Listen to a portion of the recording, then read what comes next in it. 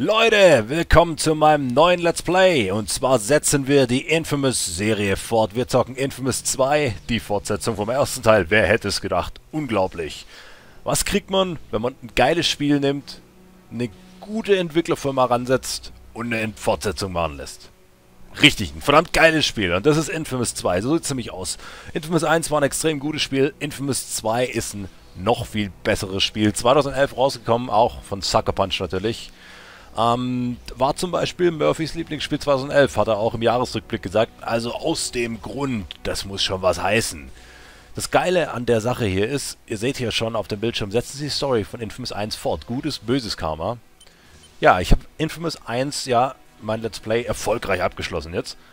Ähm, deswegen fangen wir direkt mit dem zweiten Teil an und wir setzen es einfach fort mit bösem Karma. Das ist nämlich extrem geil, dass sie diese Games so verworren haben weil man ähm, wirklich einfach Boni auch kriegt. Ich kriege jetzt Energiekerne dazu, wenn ich Trophys im ersten Teil gesammelt habe. Dann kriege ich mehr Erfahrungspunkte für den äh, Anfang und einfach Vorteile fürs Spiel schon mal. Das finde ich schon mal extrem geil, dass sie sowas einbauen. Sowas gibt es leider in viel zu wenigen Spielen. Sowas gibt es in Mass Effect, soweit ich weiß, auch. Mass Effect, Mass Effect, whatever. Mars Effect. Extrem köstlicher Scheiß. Ähm, mir fallen aber spontan nicht arg viel mehr Games ein, wo, das, äh, wo es das auch noch gibt. Ist auch völlig egal. Setzen Sie die Story von Infamous 1 fort mit bösem Karma. Das machen wir. Ich werde natürlich hier auch wieder auf äh, böses Karma gehen. Ah, ja, genau. Jetzt steht es ja auch dran, was für Boni wir haben. Böses Karma. Beginnen Sie Infamous 2 mit bösem Karma der Stufe 1. Yes! Hauptmission abschließen. Beginnen Sie Infamous 2 mit zusätzlichen XP und mit größerem Energiespeicher. Also im Prinzip genau das, was ich gerade gesagt habe. Finde ich einfach so genial. Und das machen wir direkt auch mal. Gleich mal zum Anfang was in den Arsch geschoben bekommen. So ist geil. Los geht's. Infamous 2. gearbeitet. Vor allem, um meine Eltern zu ärgern. Ich war einer, den man nicht bemerkt. Nur ein Typ, der Leuten Pakete bringt, die keiner kennt. Bis eines Tages ein Paket mich fand.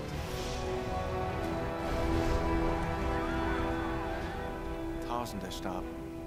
Fünf Häuserblocks zerfielen zu Schutt und mittendrin war ich. Am Leben, aber verändert. Niemand konnte ahnen, was dann kam. Damals stand Empire City unter Quarantäne. Es war am Ende. Andere Leute mit Kräften tauchten auf und ich musste alles aufklären. Herausfinden, wer mir das Paket gegeben hatte und warum. Sogar mein bester Freund wandte sich ab, um selbst Kräfte zu kriegen. Und am Ende fand ich den Verantwortlichen, Kessler. Er erklärte mir alles mit einer Zukunftsvision. Eine Bestie würde kommen. Ein Monster, das nur ich töten kann, sofern ich stark und bereit dafür bin. Einen Monat später traf ich Lucy Kuo. Sie wusste alles über die Bestie. Sie war da, um mich vorzubereiten. Sie sagte, ihr Freund Dr. Wolf würde an einem Strahlenkugelprototypen arbeiten und könnte meine Kräfte verstärken. Ich müsste nur mit ihr nach New Murray kommen. Ich brauche diese Kräfte. Die Bestie kommt. Und ich werde bereit sein. Aber sowas von bereit werden wir sein. Also die Story geht wirklich direkt weiter bei dem Spiel. Die ist knallhart. Gleich das erste Schiff? Die Frau hat Beziehungen. Das wird eine ganz kurze Sache, Mann. Ich werde reingehen, hol mir ein paar neue Kräfte und komm wieder zurück. Komm schon, Mann. Entspann dich doch mal. Wir fahren nach New Murray. Ich muss wieder hier und bereit sein, wenn er auftaucht, Sieg. Glaub mir, Cole. Nach der Arbeit mit Dr. Wolf wirst du bereit sein. Arbeit? Langsam, Quo. Wenn wir da sind, arbeiten wir an den drei M's. Mojitos, Mapster und mechanische Bullen. Natürlich. Meine Herren, ich habe das Gefühl, ihr erkennt das Ausmaß dessen nicht, was hier eigentlich los ist. Wow. Was ist hier los? Der Controller hat vibriert. Keine Angst, Co. Alles cool.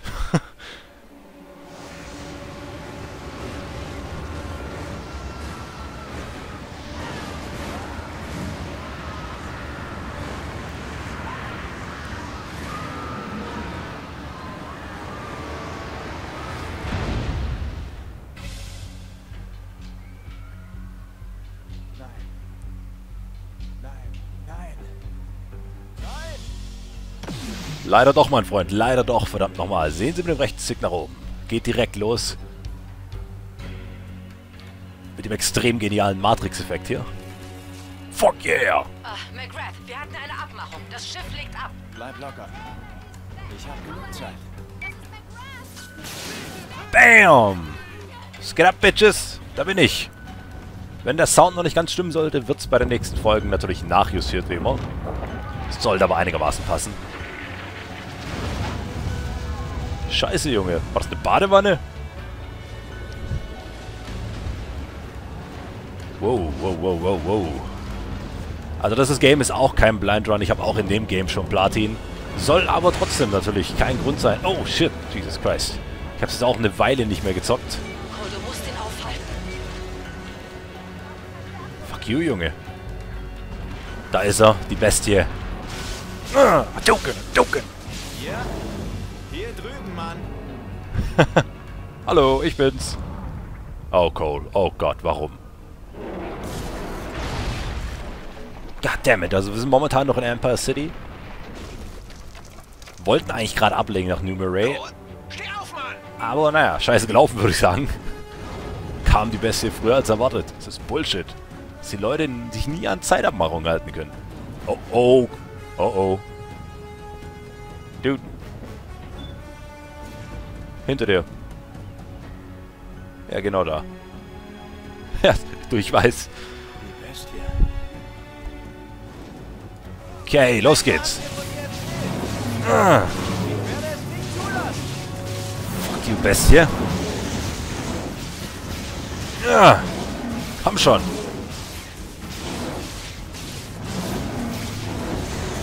Jawoll.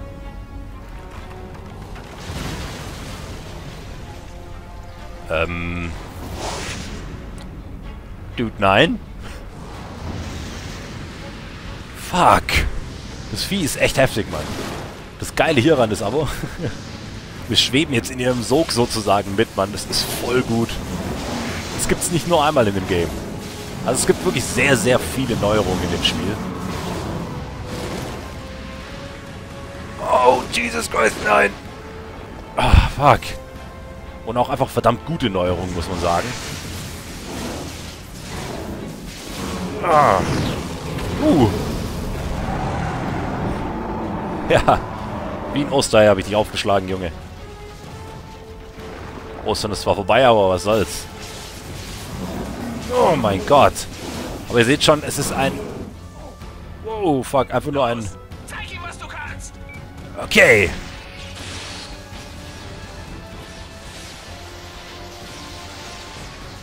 Hadouken! Von oben. Alles Gute. Kommt von oben. Haha. jo, Spiel ist zu Ende. Bestie tot. Ich sehe es. Dankeschön, Sieg. McGrath. Das war beeindruckend. Ich weiß. Oh, fuck. Vor allem das Spiel sieht natürlich auch viel besser aus, muss man ganz klar sagen. Der erste Teil sah jetzt ja auch nicht schlecht aus. Hier hat sich grafisch natürlich auch nochmal was getan. Ich finde auch Cold Sieg und so weiter sehen auch einfach viel cooler aus, noch als im ersten Teil. Ah! Nein, nein, nein! Ja, zu früh gefreut, würde ich sagen. Auch wenn sein Kopf weggeschmolzen ist wie ein Marsriegel in der Sonne. Ah. Nein, Mann!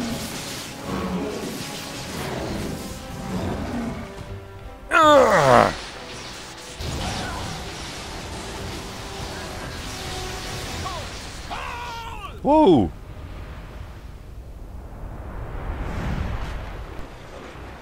Die Bestie hatte mich besiegt. Meine Kräfte gebrochen. War das das Ende? Fast hoffte ich es.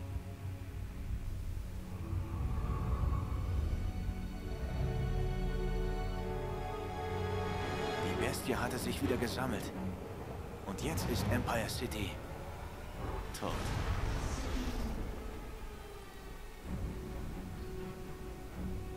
Unser Schiff floh.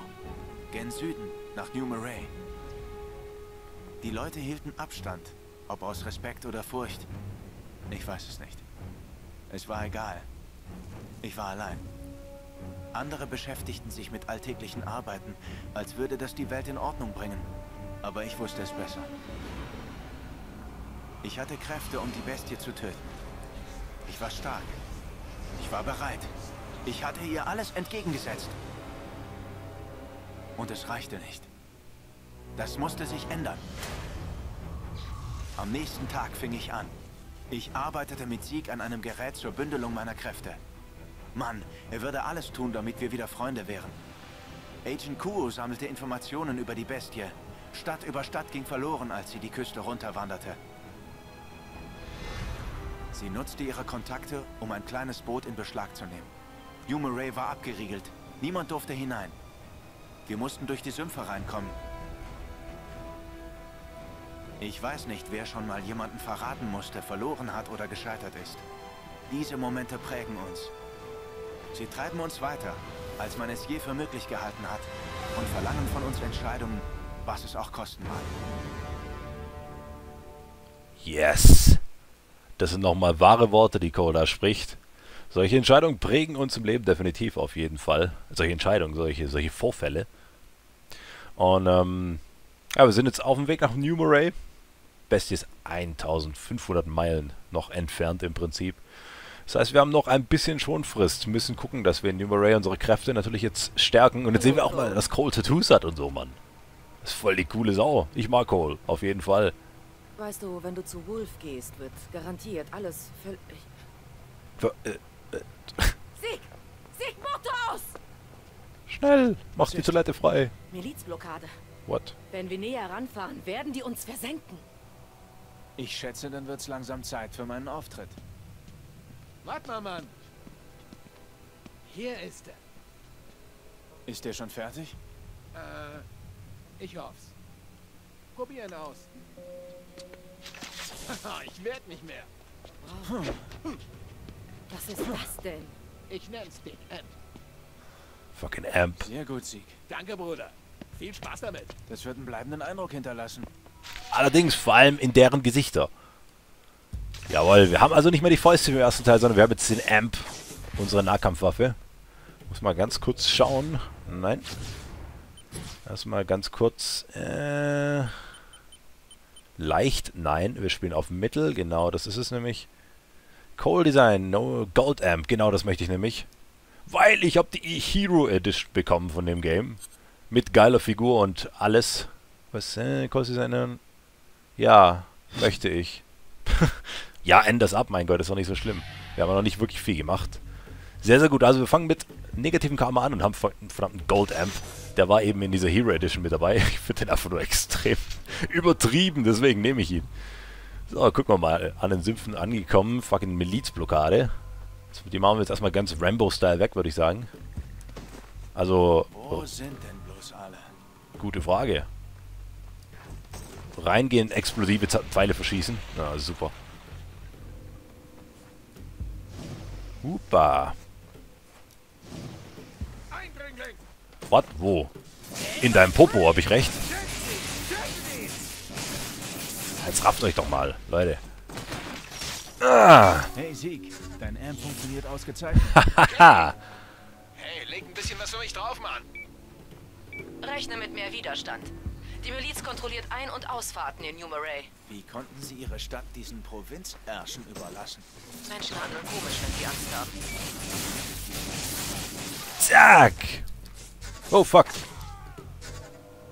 Paul, Wunderbar. vielleicht könntest du mit etwas Energie die Brücke senken. Besser als schwimmen. Aber nicht überladen. Ein Feuer könnte den ganzen Ort in die Luft jagen. Ja, stimmt. Damit wären alle auf einmal erledigt. Genau, auch die Frauen und Kinder und Tiere. Okay. Du weißt, was das heißt. Mehr Dörrfleisch für uns. Ah. Hätten wir also schon die erste Karma-Entscheidung im Prinzip. Weiter so! Ja, ich glaube, ich überlade ihn. Natürlich. Ich gehe auf negatives Karma, ist ja klar. Komm schon. Ich hoffe, ja. In your face. Mit euren Hausschweinen und Dodos. Das war echt heiß. Übel, oder? getötet. Knallt öfter mal da, wo er ist. Man gewöhnt sich dran. Wenn du die Leute heilst, sind sie auf deiner Seite. Ich weiß. Aber nur, wenn du ihre Häuser nicht in die Luft jagst.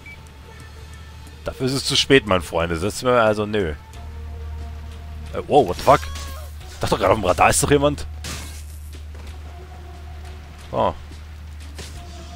Ah, zack. Meine heiligen Heilungsschuhe. Komm schon. Ich trete dich gesund. Kein Thema. Jesus. es macht so Spaß, einfach nur ein Arsch zu sein in dem Game. Wirklich. Ah, du bist schon tot. Na gut, okay. Von mir aus. Negatives Karma für mich. Ah Mist, aber die Rockets können wir gerade noch nicht machen. Die werden wir aber auch noch in absehbarer Zeit kriegen. So. Wunderbar. Oh ja, ist klar. Wow, wow, wow, was? Hier ist es heftig am Knallen. Bam. Wow. Ich habe ein scheiß Schiff versenkt. Aber da vorn gibt es bestimmt noch mehr Miliz. Okay, du gibst uns ein Zeichen. Werde ich schon tun. Keine Angst, werde ich tun. Er ist ein Weilchen her, seit ich den Teil gespielt habe. Deswegen, also ich bin auch nicht mehr 100% drinne. Aber da kriegen wir schon hin auf jeden Fall. So, da vorne ist auf jeden Fall unser Ziel, wo wir hin müssen. Über diese sicher aussehenden Planken. Ist ja auch so gut, dass ich schwimmen kann. Mit meiner fucking Stachelrochen Elektrohaut. Ja. Problem erledigt. Ja. Springen kann man natürlich, kann er natürlich immer noch. Genauso genial wie im ersten Teil. Oh, hi. Lasst mich jetzt mal was klarstellen. Okay. Ich gründete die Miliz nicht für mich, sondern Ah, fick, ich bin jetzt schon gelangweilt. zu eurem Schutz. Ich bin jetzt schon gelangweilt. Oh! Holy crap. Den habe ich nicht gesehen. Ohne Scheiß mal, was ist falsch bei euch?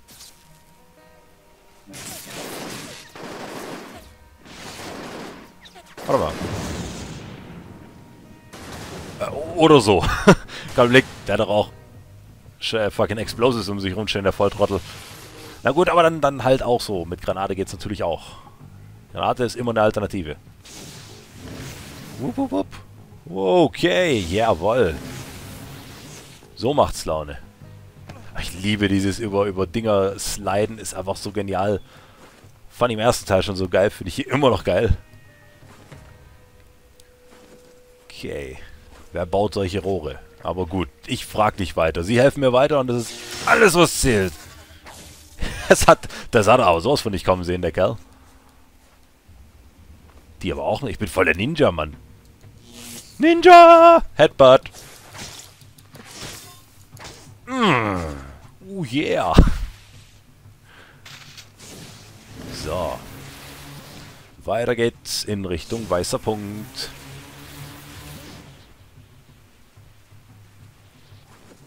Okay, Oh Leute. yeah. Ihr könnt andocken. Gut, wir kommen zu dir und dann geht's weiter zu Wolfs Labor. Klingt nach einem Plan, dann bewegt euren Hintern erstmal. Nach Numeray durchbrechen haben wir geschafft. Sehr, sehr gut. Die Miliz hat die Stadt verändert. Nichts ist, wie es mal war. Ah, weißt du noch? Damals, als ich noch ein kleines Mädchen war. Ja, ich weiß, Sieg. Ja, ja, ich erinnere mich an New Murray. Ich kam vor vier Jahren hierher und lernte zu klettern. Nach der Flut war die Hälfte der Häuser verlassen. Es war einfach perfekt für Klettertouren. Mann, sogar Sieg versuchte es. Oh, das war toll. In jeder anderen Stadt hat man zehn Minuten zum Klettern, bis die Polizei auftaucht. Aber hier? Mann, hatte die Polizei genug anderes zu tun. Es gab kein Gesetz, alles war dreckig und bis auf die Krater war das ein Paradies. Aber das war mal. Jetzt rennen hier diese Arschlöcher herum, die jeden mustern und Abartige fertig machen wollen. Die Luft ist dick. Die Leute hier explodieren bald. Und in dieser Ruine einer Stadt liegt der Schlüssel für die Verstärkung meiner Kräfte.